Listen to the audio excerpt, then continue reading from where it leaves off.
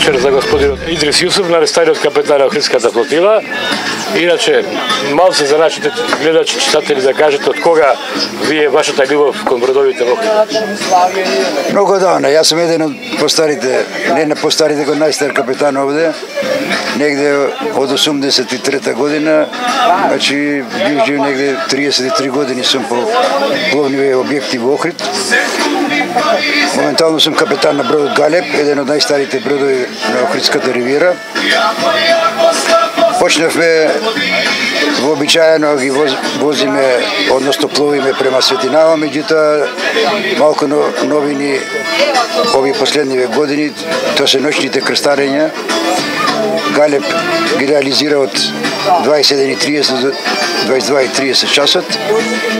Новина во една понуда нова што му пружиме на гостиве и туристиве кои што доаѓаат од настрана, тоа е Албанија, Поградец, значи секоја недела бројот Галеп оди за Поградец. Значи тргнувањето е во недела во 9.30 часот, пристигнувањето во Поградец е 11.30, 4 часа име таму да го разгледат градот. Се враќаме Светинава, по потреба Светинава му даваме по, половина час или еден час да е посете црквата, од тука музеот на, на вода и ги враќаме, значи, да бидат задоволни гостиве со понудава што ја нудиме. Капетан Идрис е еден од првите капетани кои прв заплови во тие меѓународни води, можеме да кажеме дека бидејќи имаме граница со Република Албанија, вие први влеговте таму. 89 1989 година јас прв влегов со делегација од Охридската од општина и Сучката општина со делегација да учиме 1998 година. Исто со бродот Гале. Со бродот Скопје, Македонија. Сега Македонија, тоа е Скопје се викаше. И цел град беше собран таму, меѓутоа тек пред три години тој проект што беше предвиден уште тогаш, од давните 89-та година, се реализираше сега овие последни три години.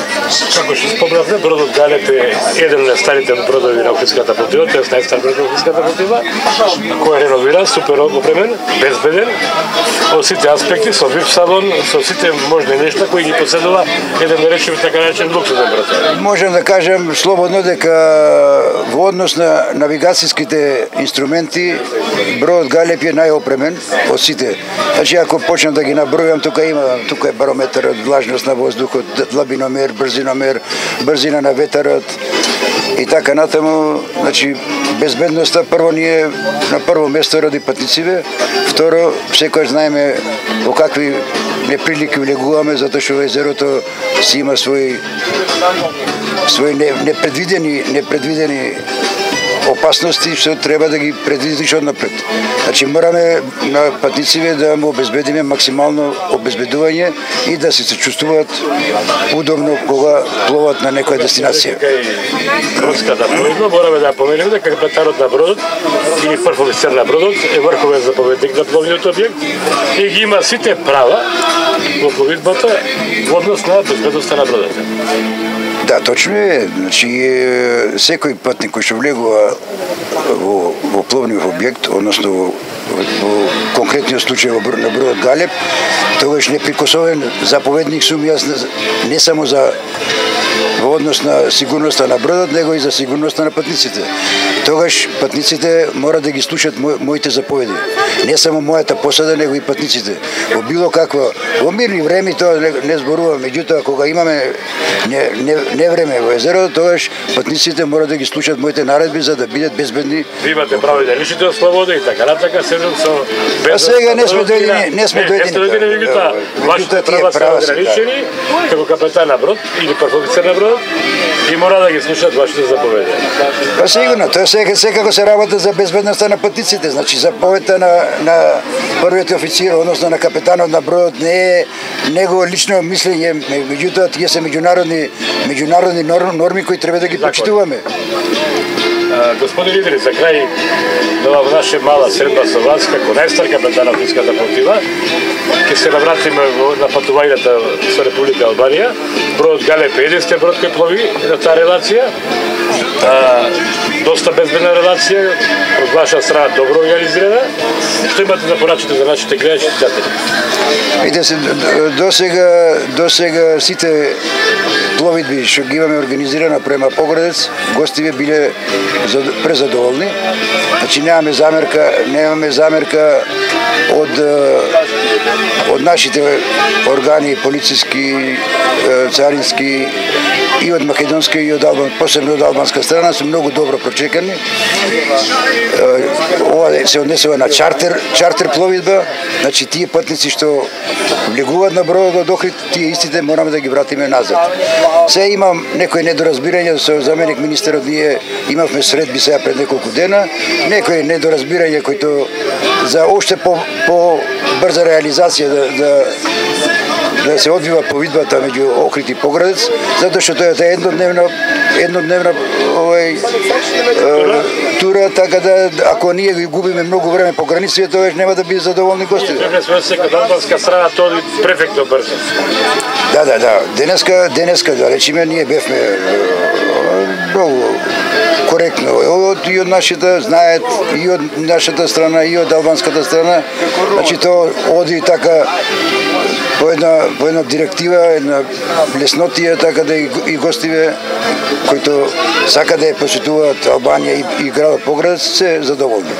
Мора да гласиме дека вашето патување за Република Албанија оди приобавно, при тоа да застанувате во Светинаум, каде што е првата царинска контрола од македонска страна и значи патниците може да уживате во прекрасната гледка на Охридското езеро и на сите приобали на Охридското езеро. Па да, јас веќе спомнав во договорот кој е подпишен меѓу министерствата на Македонија и Албанија, во договорот стои до кое време имаме ние право да престојуваме таму, кога треба да, да излеземе и така натаму, меѓутоа да не навлегувам сега во тие деталности нашата контрола, нашата царинска и полициска контрола е Светинаум. Значи ние одиме Светинаум, се врши контролата, влегуваме во, во албанските води, одиме на контрола во албанските служби и потоа кога се враќаме назад, истата, да, истата да контрола се обавува. И тогаш веќе одиме покрај брегот на Охридското езеро, затоа што на одење не чекат службите таму, за да не губиме време, али на враќање одиме покрај Заум, Трпејца, Музеот на вода и сите објекти кои кои се лоцирани на источниот брег на Охридското езеро. Како на бродов или прв заповедник на бродов има толична посада која го се години со вас и која е доста весела посада или да речеме едно невеселите посади во Охридската флотила кај што може и шега да се и да се насмее човек кога има тешко да му помогнат. Едноставно дечките се стално на готов. Посада ние сме ухода на посада веќе. Јас сум овде сега со ова посада четврта година. Меѓутоа со сите посади што имам работено до сега безпрекорно сме обавили работа, не сме имали никакви инциденти и така натаму. Значи, кога се однесува до посадата, посадата мора да биде една уиграна, уиграна екипа. Затоа што овде, овде се, се, се знае работата на секој, дали на морнар, дали на, на капетанот, дали на, на машинистот и така натаму, секој си ја знае својата задача, што треба да обава, како треба да обават, без викање, без гостиве да не разберат, ние меѓу себе комуницираме фактички со со поглед гестикулации. Со погледи, да, точно така. Капетане, со вас има доста се говори, али тоа ќе го одложиме за наразна прилика која ќе одиме за, за Република Албанија, како еден од старите капетани, бидејќи вие сте на жива енциклопедија, која треба да оставиме еден добар запис. Ви благодарам многу. Ваквите луѓе ретко се повторуваат. Ви благодарам. Благодарим и на вас. Ова е